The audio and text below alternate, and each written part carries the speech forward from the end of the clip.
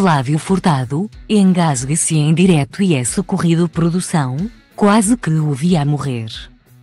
Flávio Furtado marcou presença na gala de O Triângulo deste domingo, dia 5 de março. Mas apanhou um valente susto durante o intervalo do programa da TV após ter se engasgado com um rebuçado. A denúncia foi feita por Cristina Ferreira assim que regressaram ao direto. Flávio Furtado foi socorrido pela colega de sofá e por um elemento da produção. O pá, era termos entrado um minutinho mais cedo e quase que via o Flávio morrer em direto. Brincou a apresentadora. Eu salvei a vida ao Flávio, atirou Susana Dias Ramos.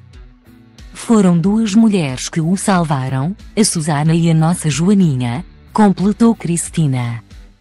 Alguém o manda comer rebuçados? Perguntou ainda, entre risos. Já desceu. Afirmou Flávio Furtado de seguida, ainda a recuperar. Se tivesses morrido não me estava a rir. Rematou a diretora de entretenimento e ficção da estação.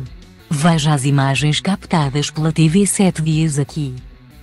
Em o Triângulo os participantes que foram apresentados no último domingo estiveram durante a semana, em risco de não entrarem no programa. Os portugueses votaram e decidiram quem são os cinco concorrentes e juntarem-se aos restantes jogadores da casa mais vigiada do país.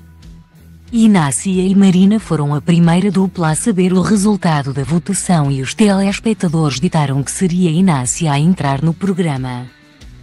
Com 59% dos votos.